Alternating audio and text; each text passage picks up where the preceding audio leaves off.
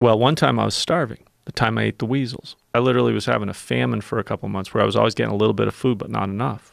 How much weight did you lose? A lot. I didn't have a scale, Right. but I got real skinny. I got really weak. I was still going out looking for food every day, but I couldn't go as far. I couldn't climb up the 5,000 foot mountains anymore. I got that weak. And this is over months. Over months. What happened to me health wise, though, and I got refeeding edema. Whoa.